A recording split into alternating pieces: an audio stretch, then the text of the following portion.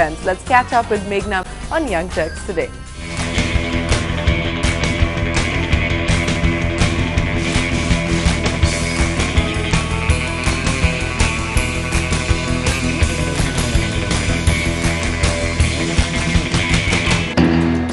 I, uh, the first thing that I did is uh, I named the company and I uh, uh, got printed brochures, circulated in schools, going myself, circulated in school buses around the place. after I got one inquiry, which of course I converted into a client at a bare minimum of about 1500 rupees, in which I gave the music, I did the games, I did some decor.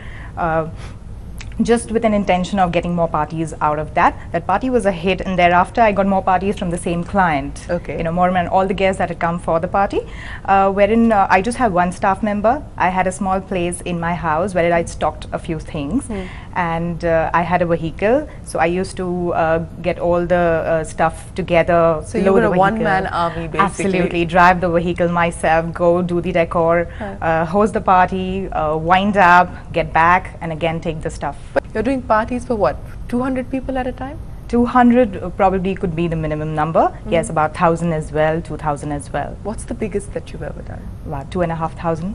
Two and a half thousand people, People, and this is yes. a birthday party A birthday for a party. child. Yes. okay, how old is the child? One year old who was really sleeping in the back. For Meghna, each party is a brand new experience and the ideas keep flowing. Carefully planned out themes which cater to the interest of her clients.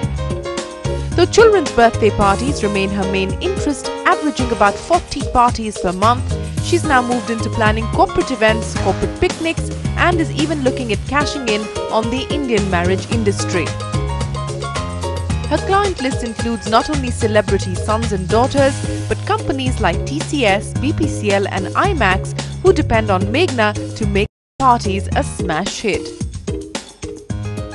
Get the list of the clients that you've sort of been dealing with, a lot of film personalities, a lot of TV stars, etc.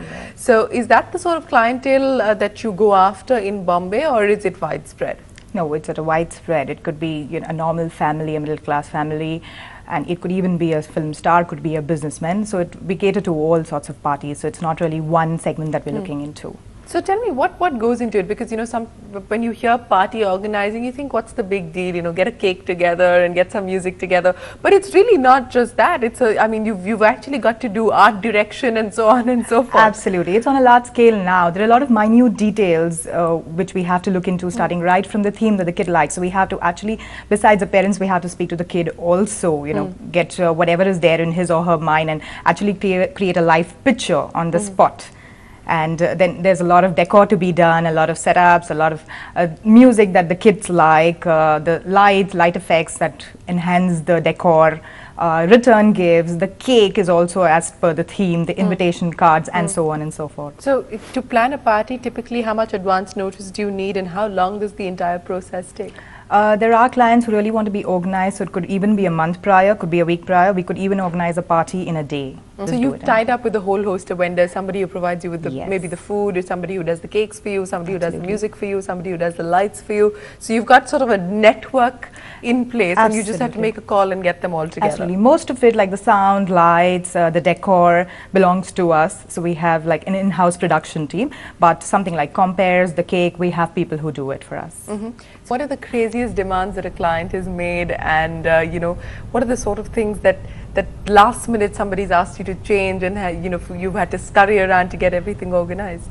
Oh yes, uh, there are people who ask for foreign acts. You know, so we've actually uh, got people from uh, foreign countries to do shows. You know, For a kid's birthday for party. a kid's party. Yeah. And how how much do how much of negotiation takes place, and how much of give and take actually happens? I mean, do the clients uh, listen to what you have to say if you have a point of view, or do you have to listen to exactly what they want? No, most do? of them they ask for our ideas, so they always listen to what we have to say. But a few of them, yeah, they know exactly what they want, and it goes accordingly. But you're moving out now of just the kid party segment. You're looking at doing weddings. You're looking at doing corporate events. What kind of success have you met with that, and and uh, how much of your focus is now going to move towards that?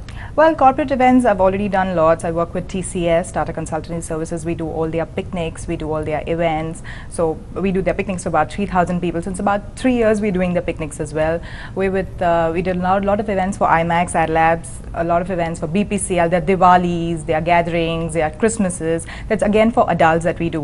So we've already got into that segment. uh, But What are the really differences between organizing a party for kids and one for adults? Because from the sound of it, it's pretty much the same thing. yes, kids parties are definitely more interesting, very Yeah. interesting. Yes, there are a lot of minute details. Adults are really sure of what they want, so we, we kind of go with that link. But kids, there are a lot of minute details. yeah. Yes, more interesting. in kids parties are concerned what kind of how in depth is the research to actually get the theme to to be as real uh, as possible Well, every day we have to be in touch with every possible cartoon. We can't be really blank when the kid names a cartoon, though at times I do go blank because they are really quick.